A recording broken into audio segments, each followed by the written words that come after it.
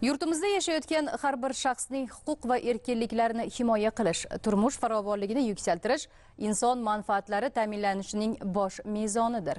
O'zbekistonni o'z vatanidek dildan tan olgan uning taraqqiyoti uchun munosib hissa qo'shib kelayotgan insonlarga fuqarolik pasporti tantanali ravishda topshirilmoqda.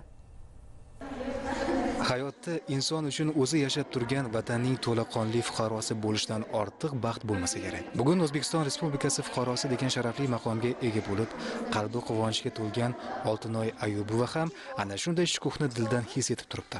Taqdir taqozosi bilan oltinoyning ota onasi 1994 yilda tojikiston respublikasidan o'zbekistonga ko'chib keladi.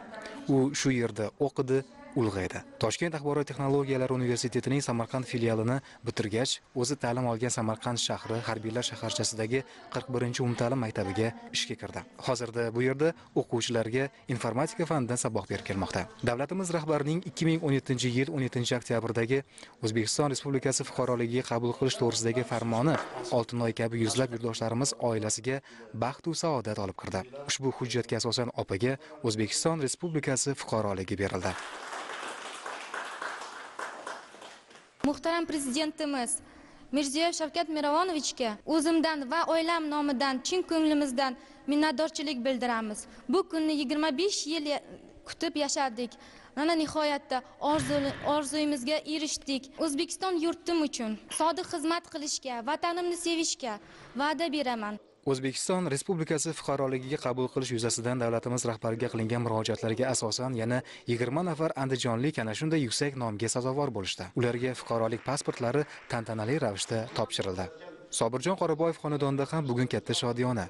Yuksak nomga loyiq ko'rilishi saylash huquqi qo'yinchi barcha erkinliklar va huquqlarga ega bo'lgani nafaqat uni balki oila a'zolarini ham xushnud etdi.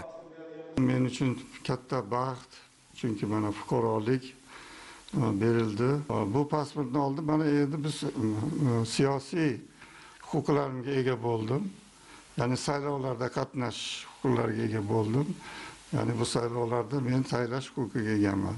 Fuqarolik davlat tomonidan barcha shaxsiy siyosiy iqtisodiy ijtimoiy huquq va erkinliklarni ta'minlashning asosi hisoblanadi.